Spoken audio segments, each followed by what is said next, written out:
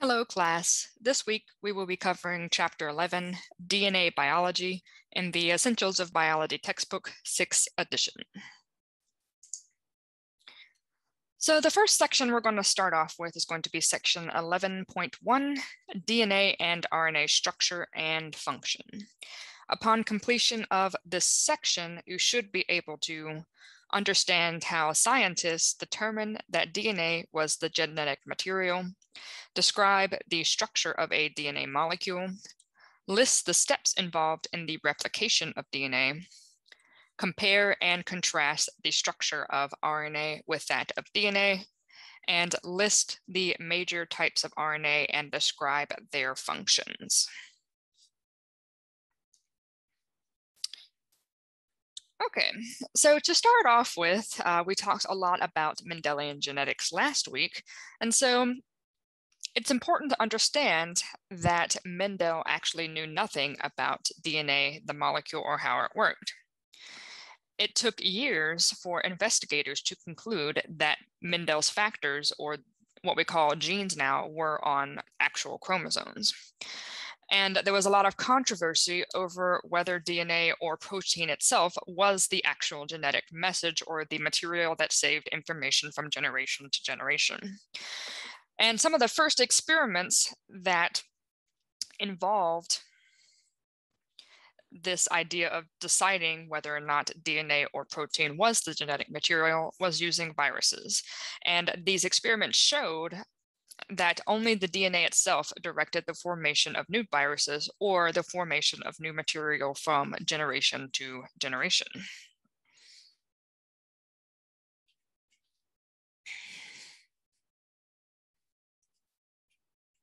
Okay. So Some of the first evidence that DNA was the genetic material came from an experiment by Alfred Hershey and Martha Chase that involved the use of a virus called a bacteriophage that infected bacteria, such as E. coli bacteria. And it causes the bacteria to manufacture more of the virus. These viruses were the ideal system to study whether the DNA or protein was the actual genetic material because viruses themselves are only composed of an outer protein layer or the capsid, which is made of protein, and then the inner core of the DNA. The experiment involved the labeling of proteins and DNA with different radioactive elements. And then from there, they tracked which of the material entered the bacterium. The results showed that the virus DNA and not the protein entered the bacteria and directed the the formation of new viruses. And thus, that provided evidence to the fact that it was the DNA and not the protein that passed uh, information on from generation to generation. So within a few years, investigators had learned that genes are composed of DNA and that mutated genes resulted in the errors of metabolic function. The evidence was accumulating that DNA must ultimately control the operation of the cell. So here we have a visual representation of the experiments done by Hershey and Martha Chase. So essentially, what they did was when they were studying these bacteriophages, so they are viruses that are made up of a protein capsid, and inside that capsid is DNA. So they are just made of protein and DNA. They radioactively marked both the protein as well as the DNA in these viruses. And then from there, they tracked which item was incorporated into the next generation of viruses. And it turned out that it was the DNA alone uh, that had that radioactive marker that showed up in the next generation of viruses, and none of the markers on the protein showed up. So that was evidence that it was the DNA itself and not the protein that was passed on from generation to generation. Okay, so now that we know that DNA is the actual genetic material that saves and harnesses that information for uh, new life, let us look at the structure of DNA. So once researchers knew that DNA was the genetic material, the race between research teams began to determine the structure of DNA. While scientists did not yet know the actual structure of the DNA molecule, they did know its chemical components. The name deoxyribonucleic acid is derived from the chemical com components of DNA's building blocks, which are the nucleotides. They also knew that DNA had the following characteristics. They knew that it had variability to account for differences in the wide variety of life on the planet. They knew that the ability to replicate that it had the ability to replicate so that every cell gets a copy during cell division. They knew that there was storage of, of the information needed to control the cell. And they knew that the DNA had the ability to change or to mutate to allow for the evolution of new species. Now, Erwin Chargaff was among the scientists trying to figure out the structure of DNA. And prior to Chargaff's work, many believed that the percentage of each base should only should not only be equal, but also the same between species. However, what Chargaff found is that each species has its own percentage of each of the type of bases. For example, in a human cell, 31% of the bases are adenine, 31% are thymine, 19% are guanine, and 19% are cytosine. In all the species of Chargaff's study, the amount of adenine or A always equal to the amount of thymine or T, and the amount of guanine or G always equal to the amount of cytosine or C. This relationship, this A is always equal to T and G is always equal to C, is what we call Chargaff's rule. Okay. So, um, Chargaff's data suggests that DNA has a structure in which there are interactions so that adenine can only pair with thymine and guanine can only pair with cytosine. His data also showed that DNA can be variable and that is an important requirement for genetic material. and we also know from Chargaff studies that the amount of A, T, G, and C in DNA is going to vary from species to species. Today, we know that the paired bases may occur in any order and the amount of variability in their sequence is overwhelming. For example, suppose a chromosome contains 140 million base pairs, and because any of the four possible nucle nucleotide pairs can be pr present at any pair location, the total number of possible nucleotide pair sequence is 4 to the 140 billion.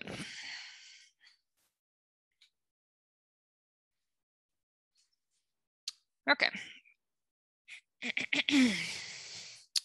so we know that the building block of the structure of DNA is the nucleotide, and the nucleotide is the monomer of the nucleic acid, which is a polymer.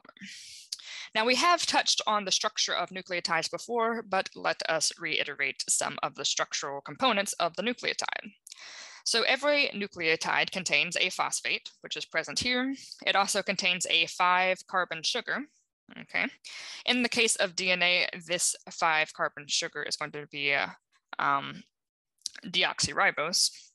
And then all of the nucleotides contain some sort of nitrogen containing base there are four variations in that base in DNA, and that is, of course, going to be adenine, thymine, guanine, guanosine, and cytosine.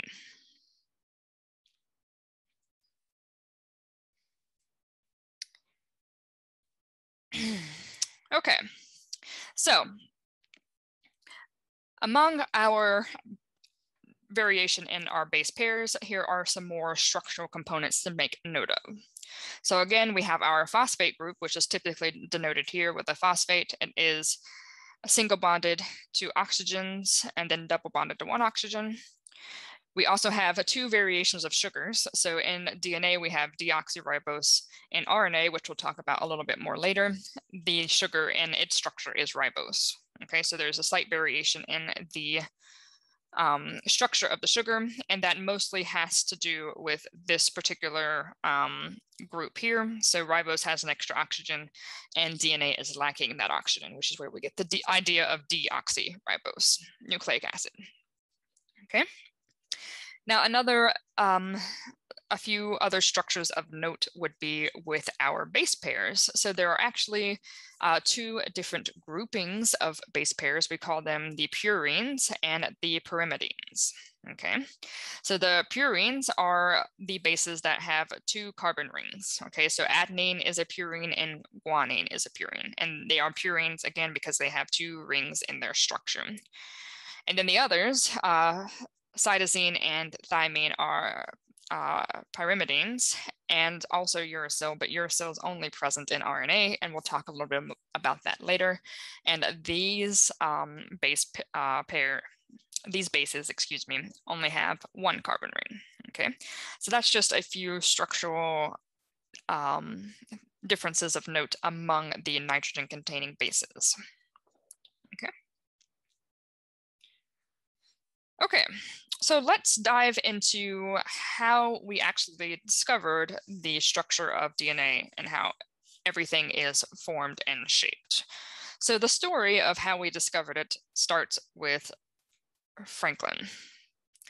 So Rosalind Franklin was a researcher at King's College in London in the early 1950s. She was studying the structure of DNA using X-ray crystallography where when a crystal or a solid substance whose atoms are arranged in a uh, definitive manner, so that's being a crystal, is x-rayed, the x-ray beam is diffracted or deflected. And the pattern that results shows how the atoms are arranged in the crystal itself. So first, Franklin made a concentrated uh, solution of DNA and then saw it could be separated into fibers. Under the right conditions, the fibers were enough that a crystal that when they were x-rayed, a diffractive pattern resulted. The X-ray diffraction pattern of DNA is sh shows that the DNA itself is actually a double helix. The helical shape is indicated by the cross X pattern in the center of the photograph, which we can see here. So this repeated sequence in this X pattern reveals that the DNA itself is actually a double helix. the dark area at the top and bottom of the photograph indicates that some portion of the helix is repeated many, many times. So that's what we are seeing.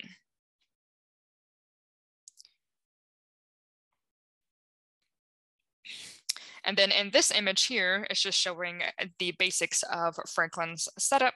So she has an X-ray beam that is uh, shown through a crystal and in the right conditions, a certain um, diffraction or uh, deflected pattern is shown uh, from that X-ray beam.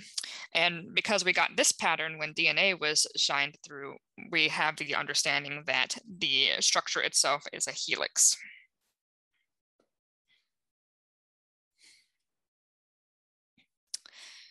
All right, so the next step in the story is with Watson and Crick.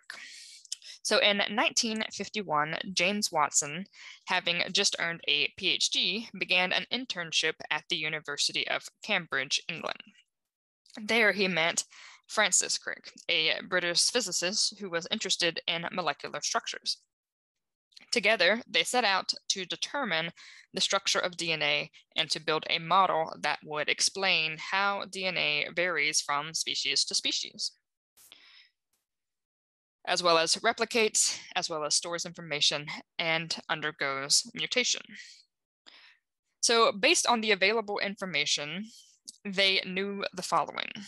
They knew that DNA was composed of four types of nucleotides, with the base pairs being adenine, guanine, cytosine, and thymine. They knew of Chargaff's rule at this point, where adenine always equals the same to thymine and guanine always equals the same to cytosine. And then they also had Franklin's um, images, um, so Franklin's X-ray diffraction photography, and they knew that DNA is a double helix with a repeating pattern. So that's the information they had to work with.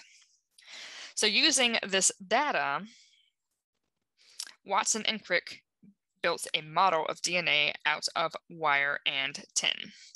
The model showed that the deoxyribo sugar and the phosphate molecules are bonded to one another to make up the sides of the twisting ladder. Okay. The nitrogen bases made up the rungs of the ladder. Okay, so that's kind of what they're working on right here. And then they project essentially into the middle and hydrogen bonds with the bases allowed the bases to connect to each other to form those rungs.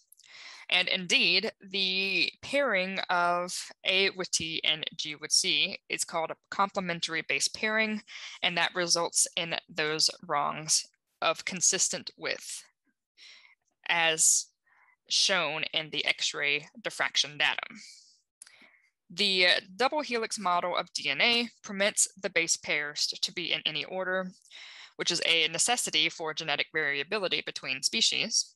Also, the model suggests that complementary base pairing may play a role in the replication of DNA. As Watson and Crick pointed out in their original paper published in Nature in 1953, they stated, it has not escaped our notice that the specific pairing we have postulated immediately suggests a possible copying mechanism for the genetic material. And for their work, Watson and Crick did end up winning a Nobel Prize for uh, their constructed model. So let us lay out all the components of the DNA structure now that we have the full story. So again, we know that DNA is a double helix and is like a twisted ladder. Okay, so that's what we're seeing up here.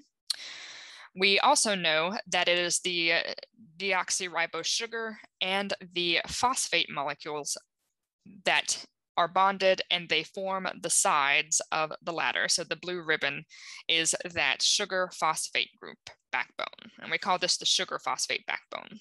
Okay. And we also know that the base pairs make up the rungs of the ladder, and the complementary base pairing allows for each of the rungs to be uh, the same length. And so it allows that molecule to have the same equidistant twisting in that double helix. And then finally, we also know that it is the hydrogen bonds between the bases that are going to hold the two halves of the helix together. Okay. And remember that hydrogen bonds are weak interactions between molecules of varying areas of opposite charges. Okay. And hydrogen bonds are important for maintaining a structure of a protein and DNA, but they can be easily broken. Okay. And this idea of the base pairs breaking apart is where replication as well as accessing the information to make proteins comes into play.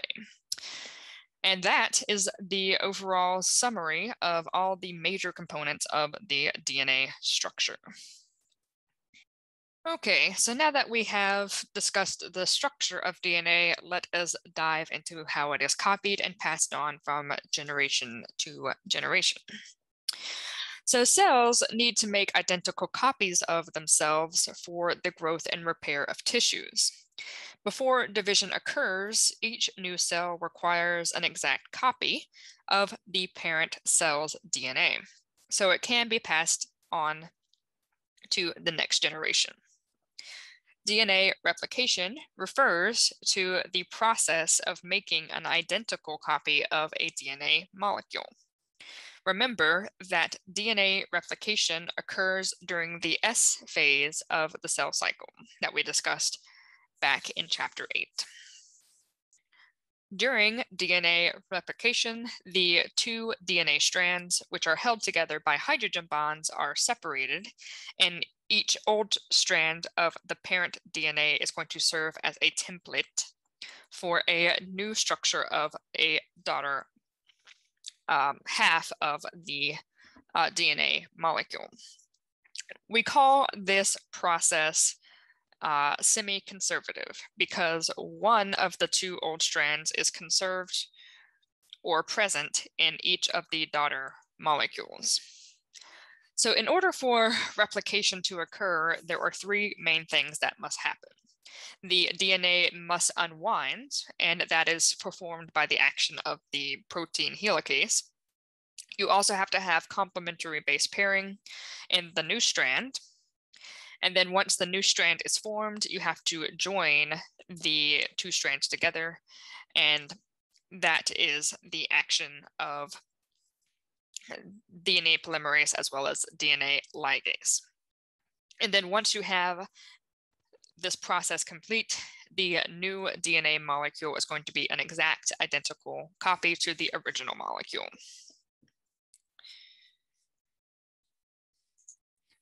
Okay, so let's dive into a little bit more of the specifics of how this actually works. So to begin replication, the DNA double helix must separate and unwind. This is accomplished by breaking the hydrogen bonds between the nucleotides and then unwinding the helix structure using an enzyme called helicase. At this point, new nucleotides are added to the parent template strand. Nucleotides ever present in the nucleus will complementary base pair onto the non onto the now single-stranded parental strand. The addition of new strands is completed by using an enzyme complex called DNA polymerase. The daughter strand is synthesized by DNA polymerase in the 5' to 3' direction. Any break in the sugar phosphate backbones are sealed by the enzyme DNA ligase. So the backbones of the parent molecule or the original strand is typically depicted as blue in models, and we'll see that in a second. And then following replication, the daughter molecules are typically denoted as a different color. In this case, it's going to be green. A daughter DNA double helix has the same sequence of base pairs as the parent DNA uh, double helix had. And the complementary base pairing has allowed this sequence to be maintained. So let us look at some visuals. Okay, so in this particular image, the parent molecule is noted as blue and the daughter, um, the new strand or the daughter strand is denoted as green. So there is some directionality in the DNA structure. So DNA always is added in sequence in the 5' prime to 3' prime direction. And because of the way that the sugar and phosphate groups are arranged in the sugar phosphate backbone, um, the arrangement on both sides of the double helix are what we call anti-parallel. So that means that one runs from the 5' prime to 3' prime direction and one runs from the 3' prime to 5' prime direction. And this comes into play um, during DNA replication and how DNA is replicated. so DNA or new uh, segments of DNA can only be added in the 5' prime to 3' prime direction. So when replication occurs on both sides of the parent strand, it is happening in opposite directions. Okay, so one is being added one way and one is being added the other way because the new daughter sequence must be added in the five prime to three prime direction. Okay. Now, the molecule responsible for unzipping that DNA again is helicase. So that's the enzyme helicase. DNA polymerase is the molecule that is synthesizing the new daughter strand. Okay. And then DNA ligase is reconnecting the hydrogen bonds as well as uh, any breaks in the uh, sugar phosphate backbone to make the whole double helix structure seamless once again. Okay. Now at the ends of replication, what we're going to have is two semi-conservative model, uh, semi-conservative daughter molecules, where one daughter molecule has one half of the helix being the original parent strand and one half being the new daughter strand, as well as the other DNA molecule being one half the original parent strand and one half a new sequence of daughter strands. But because of the complementary base pairs where A and T always bind together and G and C always bind together, even though this is half new the sequence is conserved from one generation to the next due to that complementary base pairing. Okay, so let's talk a little bit more specifically about what happens in the eukaryote. So I mentioned a little bit um, in the previous slide, but let's talk a little bit more specifically about what happens. So in eukaryotes, DNA replication begins at numerous sites, and these locations are called the origins of replication. And they can happen along the length of the entire chromosome at multiple locations. At each origin of replication, a replication fork is going to form, okay? And that replication fork is basically where that helicase is separating and unzipping the original parent strand of DNA. now, in the origin of replication, this unzipping is happening in both directions. So there's going to be a helicase that is unzipping this way, and there's going to be another helicase that is unzipping in the opposite direction. And that's going to form that bubble, which is what we call the origin of replication. All right. so it was it is within these replication bubbles that the process of DNA replication occurs. Repli replication proceeds along each strand in opposite directions until the entire, entire double helix is copied. Okay. So remember that it is polymerase that is adding on new um, complementary base pairs for the constructed daughter strand of DNA, and it can only add those strands in the 5' to 3' direction. Okay. All right. So although eukaryotes replicate their DNA at a fairly slow rate, only 500 to 5,000 base pairs per minute, there are many individual origins of replication throughout the DNA molecule. Therefore, eukaryote, eukaryotic cells complete the replication of the diploid amount of DNA. In humans, that's over 3 billion base pairs, in a matter of hours due to these multiple origins of replication and the replication occurring in both directions. Now, I did mention again that DNA um, can only be added onto the new daughter strand in the 5' to 3' direction. So one side, it can do that smoothly, okay? We call the side that can just continuously add uh, new uh, complementary base pairs for the daughter sequence uh, the leading strand because it can happen smoothly in one direction. However, the other side um, has to happen in fragments. And again, that is because the five uh, uh, DNA polymerase can only add that DNA in the five prime to three prime direction. So it has to start kind of really close to the helicase and add DNA molecule, or uh, excuse me, add nucleotides um, in the opposite direction so that it can still add from 5' prime to 3'. prime. And that has to do with that anti-parallel arrangement. So if I flip back here, so one strand has to be added from 5' prime to 3' prime this way, and one has to be added from 5 prime to 3 prime this way, okay?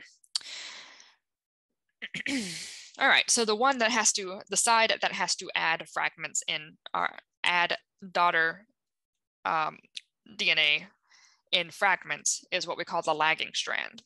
And we call these individual fragments Okazaki fragments, okay?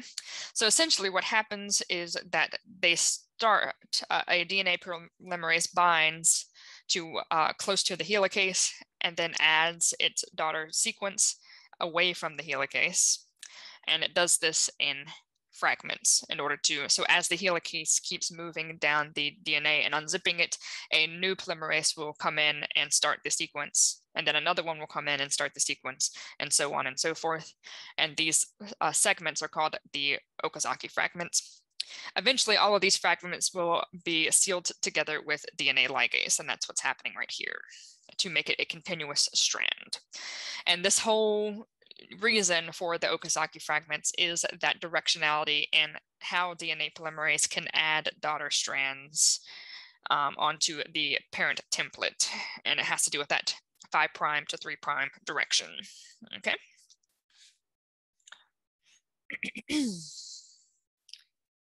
All right, so that covers the basics of DNA replication and what I expect you to know. So let us move on to RNA structure and function.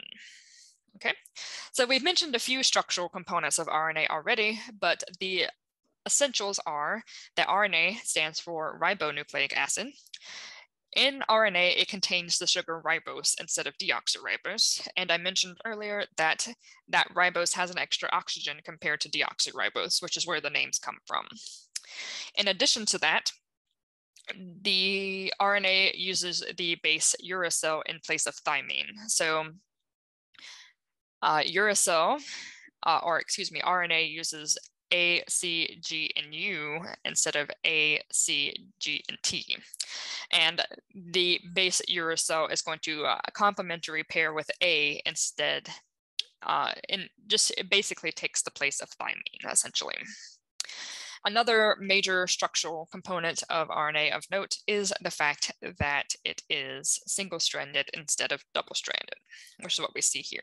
So that sugar phosphate backbone is still present. It's just we don't have a, an additional side to make it a helix like DNA. So it is just single-stranded.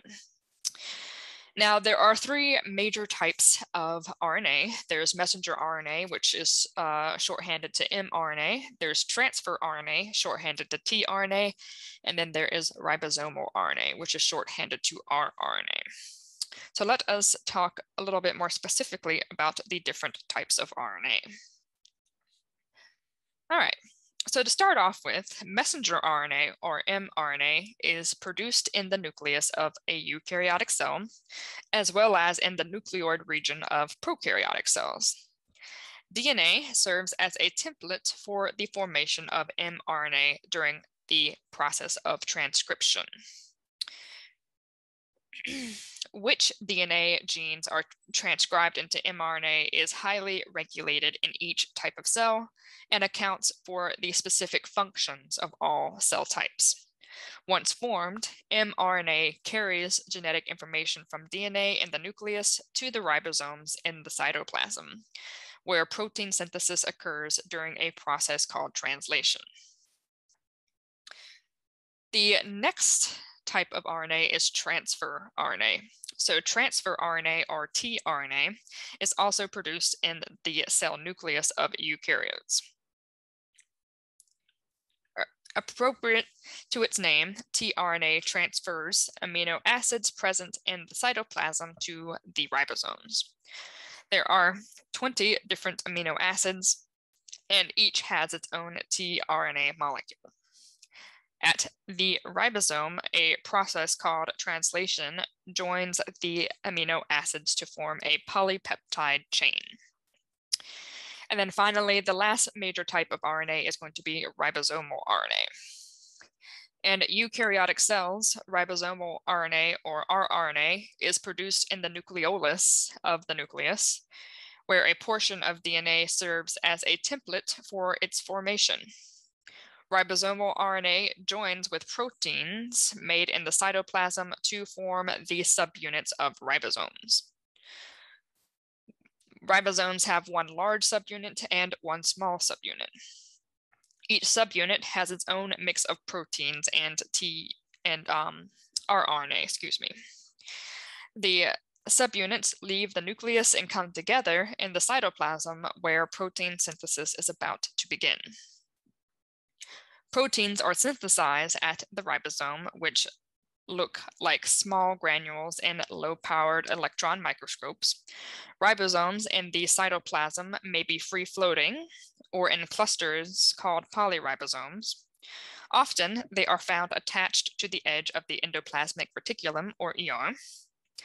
Protein synthesis by ribosomes attached to the ER normally are used by the ER proteins synthesized by free ribosomes or polyribosomes are used in the cytoplasm. A protein is carried in a transport vesicle to the Golgi apparatus for modification and then transported to the plasma membrane, which it can then leave the cell for use elsewhere. All right. And that is the basics of the types of RNA molecules present in cells. Okay, so the last thing we'll do in this section is kind of do a quick comparison of what is common for DNA and RNA and what is different for both. So the primary similarities of DNA and RNA, which are both nucleic acids, they are both composed of nucleotides. They also have a sugar phosphate backbone, and they both have four types of bases. So that's what's common between them. And then the main differences between DNA and RNA is that DNA is found in the nucleus and eukaryotes, whereas RNA is found in the nucleus and cytoplasm of eukaryotes. DNA is the actual molecule that holds the genetic material, whereas RNA is simply a helper to DNA to uh, transfer or process that genetic material. The sugar and the structures are different. So uh, DNA has the sugar deoxyribose and RNA has the sugar ribose. The base pairs are slightly different. So DNA base pairs are adenine, thymine, cytosine, and guanine.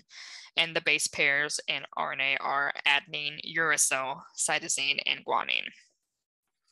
DNA, of course, is a double-stranded helix, and RNA is simply single-stranded. And then the last major difference is DNA is transcribed to give a variety of RNA molecules, whereas RNA is translated to make proteins. Okay, and that are the major similarities and differences between DNA and RNA.